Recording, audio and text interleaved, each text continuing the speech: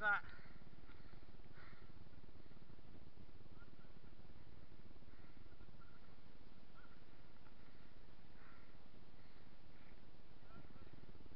Yeah, proper.